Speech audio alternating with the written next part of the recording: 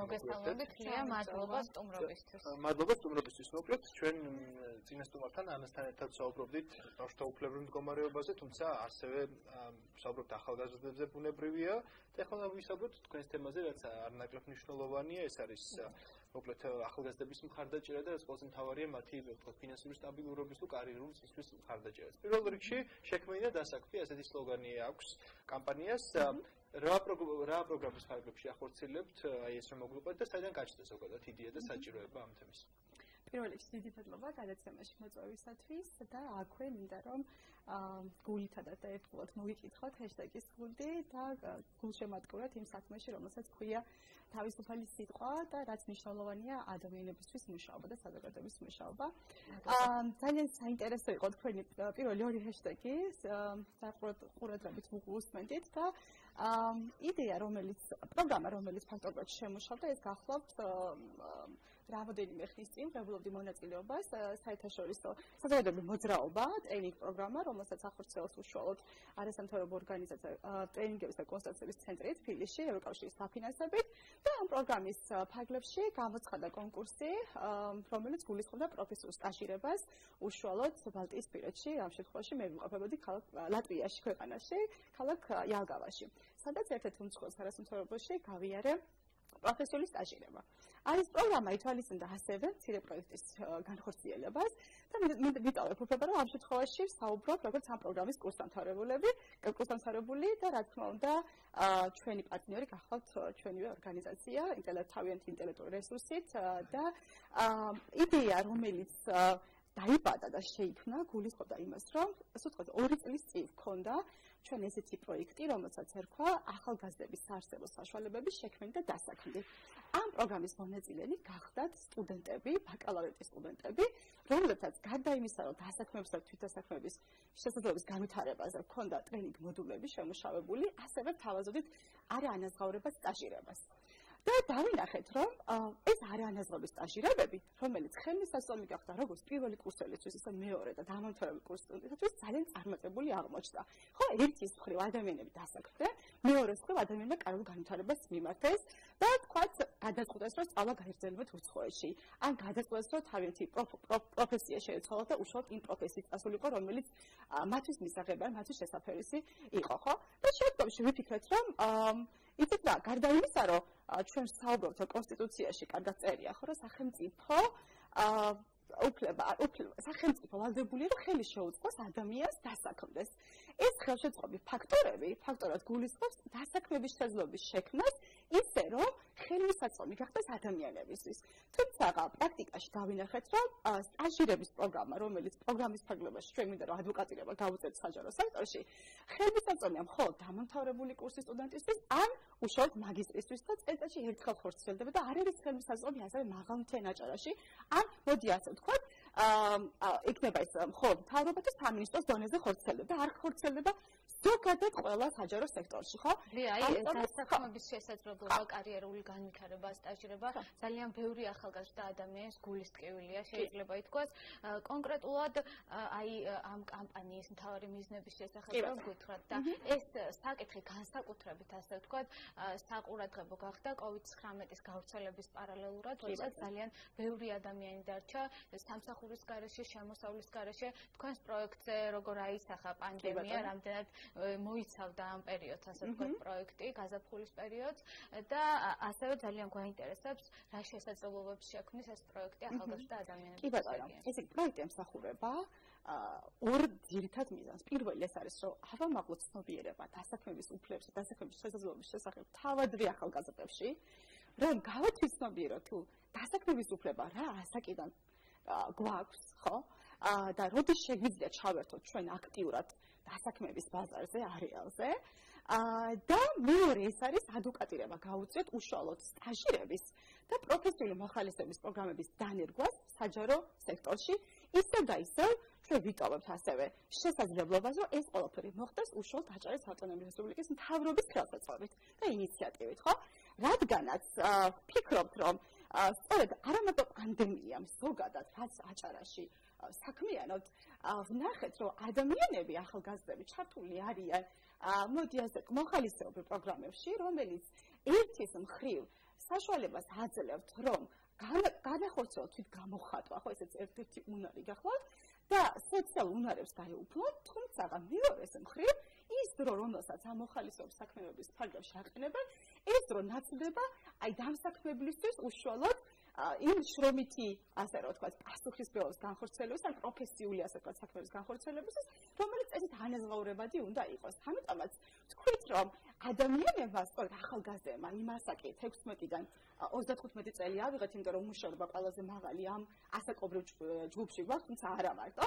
აა თქვით, რომ ხელმისაწვდომი გახდეს ამ ასაკის ჯგუფისათვის, რადგანაც თუ ჩვენ ახლა ამ ასაკში არ შევძელით ჩვენი კვალიფიკაციის ამაღლება, ჩვენი უნარების გამოყენება და გაძლიერება, მაშინ როდის ხა უნდა მოვახდინოს ეს, როდესაც უკვე დამსაქმებელი არ ამარტო უყურებს, აი მოდი ასე ვთქვათ, საკვალიფიკაციო მოთხოვნებში გვეუბნება რომ ვთქვათ, უნდა გქონდეს დიპლომი, არამედ უყურებენ თუ რამდენად შეიძლება ამ საქმის გაკეთება. აი ძალიან მარტივად ვუხდით ხოლმე ახალგაზრდებს, რომ აი გასაგებია რომ ჩვენ კარგი აკადემიური მოსწრება, შეიძლება არ გქონდეს კარგი აკადემიური მოსწრება, მაგრამ დღეს დასაქმების უშუალო ბაზარზე ძირითადი აქცენტი უკვე მოდის საქმის კეთებს, დასაქმების უნარების ხელმისაწვდომი ადამიანებისთვის და აა მითხრა თქვენი ეთერით ვისარგებლოთ და თქვა უფრო მეტი ყურადღება გავამახოთ ამ საკითხზე რომ უკვე შრომის საერთაშორისო ორგანიზაცია შორის ძალიან კარგ კვლევებს ატარებენ და ხელმისაწვდომი რა თქმა უნდა ეს ქართულ ინგლისურ ენაზე თუმცა ძალიან კარგად ამბობს რომ პანდემიისას მოხდა მოხდა ამ პანდემიის შედეგი იქნება ის რომ ძალიან ბევრი ახალგაზრდა დაკარგავს დასაქმების უშუალოდ უნარებს და ეს ასაკმების უნარებიც არის სამი კატეგორიის, აი უშუალო სწავლების დროს, აი ვუხსნით ხოლმე, აი პირველ კატეგორიაში. რა მოისაზრება მეორეში და მესამეში რა, რომ გავათვითნობიეროთ, რომ კი უნდა დაველოდოთ ჩვენ, რომ როდის მოხდება, აი დავასრულებთ სწავლას და მაშინ დავიწყოთ ძებნა სამსახურის და ვიყოთ მასზე. არამედ, როდესაც კანონი მეუბნება, რომ იცი 14 წლიდან შეიძლება თქვა 14-16 წლამდე ჩავერთოთ შემეცნებითი სპორტის ხელოვნების მიმართულებით დასაქმების ბაზარზე. ხო, შემდგომში ფართოვდება, რა თქმა უნდა, ჩვენ დასაქმების შესაძლებლობა. ამიტომაც, ერთი მხრივ გვინდა რომ ახალგაზრდებს ვთქვათ, რომ პასუხისმგებლობა ავიღოთ და არა მარტო საკუთარი კარიერული განვითარების თვალსაზრისით, თანატოლების კარიერული განვითარების შესაძლებლობის განვითარებით, ასევე მოთხოვოთ და ვთხოვოთ და მოთხოვოთ ასევე სახელმწიფოს, რომ ხელმისაწვდომი გახადოს ეს პროგრამები ადამიანების და ორი კომპონენტი გავამახოთ, ერთი არის სტაჟირება, რომელიც კვალიფიკაციის ამაღლებას ემსახურება, მეორე არის პროფესიული მოხალისეობა, როდესაც საჯარო პირი, საჯარო მოხელე, აი მაგალითად უვანგაროთ, ეხოლება მენტორობის აი მენტორობის პრინციპის და ზრუნველობის პრინციპის განვითარება გვდა ჩვენს რეგიონში, მაგრამ ჩვენ ვქონია მსგავსი მაგალითები, როდესაც თავაზობდი მე პირადად ერთ ერთ დაწესებულებას და იუანგაროთ უსასრულოდ შემიძლია ვიყო ამეთან პოზიციაზე. თუმცა აი სიახლე იყო მათთვის ეს რამოდენიმე წლის წინ ხდებოდა და დავინახე რომ ის შესაძლოა არ არსებობს ახალგაზრდებისთვის და დრო კიდევ რომელშიც ვარსებობთ ეს დრო თავისთვის იქნება ამ დროში ჩვენ უნდა ვიმოქმედოთ. შესაბამისად ამ პროგრამაში ადვოკატირების კომპონენტი უშუალოდ მოიცავს რომ ახალგაზრდებმა თავადვე მიიტანონ თავიანთი წუხილი, თავადვე გახდნენ მოდი ესე ვქო თავიანთი უფლებების დამცველები. იქ სადაც გადაწყვეტილებები მიიღება და გულისხმობ ამ შემთხვევაში როგორც თავრობაში, უმაღლეს საბჭოში და ადგილობრივ მუნიციპალიტეტებში. ლე, აუცილებლად მეკითხოთ შემდეგი თქვენ თქვით რომ მნიშვნელოვანია ახალგაზრდების გაძლიერება სხვადასხვა უნარების ანახმოჩენით ან შეძენით, თუმცა როგორც ვიცით, თქვენ ამ პროექტში კონკრეტულ წოდასაც აწვით, კონკრეტულ მნიშვნელოვან თემებზე საუბრობთ, აი როგორ გითხრათ ამ თემების შესახებ, რა თემებზე ისაუბრებთ მათთან ერთად, ერთად რაზე ისაუბრებთ და როგორ შეარჩიეთ ეს თემები ამ თემების მიზნობრიობას აიდან გასაგებად. კი ბატონო. აი ესე იგი, ასევე ჩვენ მოდაწი ადამიანები ადამიანებს ვუთხარით, რომ ცირე ტრეინინგებს, ცირე ვორქშოპებს შემოვთავაზებთ, რა თქმა უნდა, დისტანციად ონლაინ რეჟიმში. აა ეს თემები პირველ რიგში მნიშვნელოვანი იყო ადამიანებს გაითვისებინებათ, რა არის სოციალური ტრანსფორმაცია და სამოქალაქო აქტივიზმი კონკრეტულად რას გულისხმობთ, იმიტომ რომ დღეს ვფიქრობთ, რომ აქტიური მოქალაქის გათვისნობიერება არ ხდება ის რაც პირდაპირ გვეუბნება ხო აქტიური მოქალაქე ვართ მაშინ რაც ცვლილებაზე ვართ ორიენტირებული რაღაცა გვაწუხებს და ინტერეს ცვლილებისთვის უანგაროდ ენთუზიაზმით ჩართული ვართ ეს პრობლემა მოვაგვაროთ და ამ შემთხვევაში ხავდა ისმა გუმბერიძე, რომელსაც უკვე ისაუბრა ფაქტობრივად სამოქალაქო აქტივიზმის მიმართულებით. დღეს ხონდა დღეს უკვე წარუძღვა ერთ-ერთმა ტრენერმა, ბამუკა საფერდომ ჩატარა. ამ შემთხვევაში საჯარო გამოსვლების ხელოვნების ინსტრუქტორი ჩაუტარა, რადგანაც ამ ახალგაზრდებს მიეცემათ საშუალება თვითონვე არადგინონ მიიღონ მონაწილეობა საჯარო გამოსვლებში. ხვალ იქნება უშუალოდ ჩემი სესია, როდესაც ვისაუბრებ არაძალადობრივ მექანიზმებს, იმიტომ რომ ფაქტობრივად აი არ ხდება სწავლება თუ როგორ მოვახდინოთ პოზიტიური ცვლილებები, რა ინსტრუმენტები არსებობს და ჩემთვისაც საინტერესო იყო, როდესაც აღმოვაჩინე, რომ არსებობს 198 თქვათ მექანიზმი, რომლითაც შემიძლია კონკრეტული ცვლილებებზე ვიმუშაო.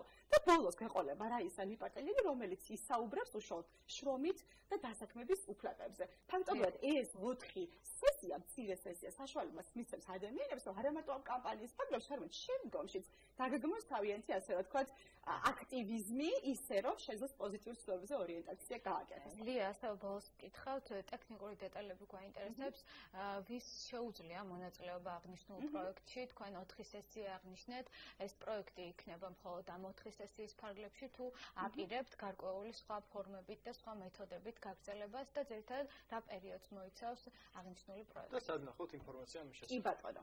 აა ჩვენ ფაქტობრივად უკვე შევეჩეთ მონაწილეები, თუმცა ახლა სოციალური კამპანია გახლავთ შევქმნით აა ჯგუფი დასაქმების შესაძლებლობის განვითარება აჭარის რეგიონში დახრული ჯგუფი ამ ჯგუფში გაწევრება შეუძლია ნებისმიერ დაინტერესებულ რომელსაც აწუხებს დასაქმების თემები აა უმუშევრობა და ეს ხშირად ვამბობთ ხოლმე რომ ეს ხოლმე თვითონ არ უნდა გვაწუხებდეს ხო რეალურად ჩვენი როლიც უნდა განსაზღვროთ სად არის ის ბერკეტი არის შესაძლებელი რომ მე შემეძლება ადამიანებს დავეხმარო რომ კვალიფიციური შრომითი ძალა გახდნენ ხო ძირითადი პრობლემა ჩვენ ეს ავიღეთ რომ დღემდე დამსაქმებლის მხრიდანაც საუბრობენ რომ არ არის თერმოსასწრომი კვალიფიციური შრომითი ძალა. ამიტომაც ამ პროექტის ფარგლებში გვინდა რომ ეს ეს მექანიზმები იქმნეს აი ამის დასაბამი რომ გახდნენ კვალიფიციურები აა ეს მცირე ტრენინგები მხოლოდ არ სრულდება პროექტი რა თქმა უნდა სექტემბრის ბოლომდე გრძელდება ამ პროექტის პროგრამის ფარგლებში გვექნება საინტერესო სპექტაკლი რომელზეც მოვიწევთ ადამიანებს და საჯარო სექტორის წარმომადგენლებს ასევე სპექტაკლის შემდგომ რეგიონული ფორუმს მოვაწყობთ ახალგაზრდულ ფორუმს სადაც უკვე უშუალო ადვოკატირების პროცესი დაიგეგმება და საბოლოოდ გვექნება მრგვალი მაგიდის ფორმატში საჯარო სექტორთან. იმედი მაქვს თვითანამშრომლობად, იმიტომ რომ ვფიქრობ, რომ ხშირად აი ეს ეს ახლა ეს ეს შეგრძნება გრჩება, რომ აი ზრუნველობით პროცესი, აი ადამიანებს ზრუნვა სწავლება სჭირდება და ეს პროცესი შეგვიძლია ვაწარმოოთ როგორც საჯარო ისე კერძო და არასამთავრობო ორგანიზაციებთან. ძალიან დიდი მადლობა ლია, სტუმრობისთვის, ამ თემის საუბრისთვის, ლია ფუტკალიძე ორგანიზაციის საერთო დამფუძნებელი იყო ჩვენი გაცემის სტუმარი.